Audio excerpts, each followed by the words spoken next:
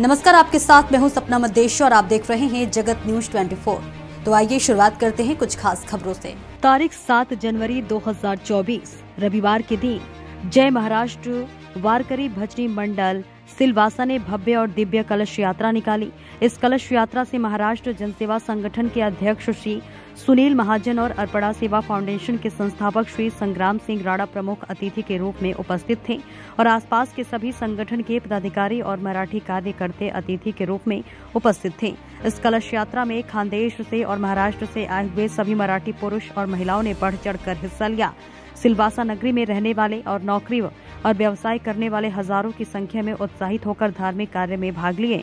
और जय महाराष्ट्र, वारकारी भजनी मंडल ने श्रीमद भागवत कथा का भव्य दिव्य आयोजन किया है और इस भागवत कथा को भोईसर के महाराज श्री प्रदीप वासरेकर ने संबोधित किया। आपको बता दें कि सात दिन तक हर रोज कीर्तन सेवा और महाप्रसाद का भी आयोजन किया गया है। सिलवासा में पूरा सप्ताह आनंद का माहौल छाया रहेगा। इस कीर्तन सप्ताह में सिलवासा और आसपास के सभी जनता को आमंत्रित किया गया है। देखिए जगत न्यूज़ 24 सिलवासा से कोमल सिंह राजपूत की खास रिपोर्ट।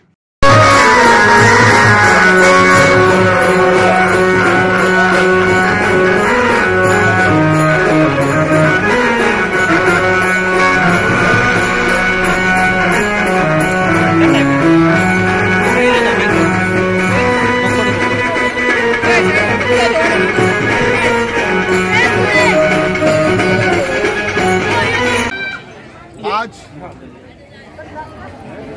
जय महाराष्ट्र वारकरी भजनी मंडल और जय महाराष्ट्र वारकरी महिला मंडल ने जो अखंड हरिनाम सप्ताह का जो आयोजन किया, ये बहुत बड़ी खुशी की बात है। और मैं आज खानदेश से आया हूँ, खानदेश का रहवासी हूँ।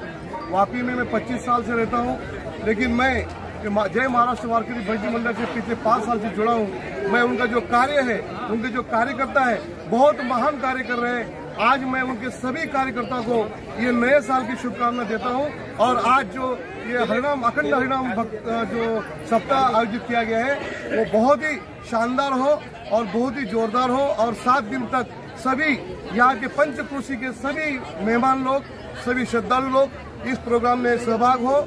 यही मैं सबसे अपेक्षा करता हूँ और अनुरोध करता हूँ। जय विठल रुक्मई ऐसे ही अपडेट्स के लिए देखते रहें जगत न्यूज़ 24 और हाँ हमारे चैनल को लाइक, शेयर और सब्सक्राइब करना बिल्कुल ना भूलें।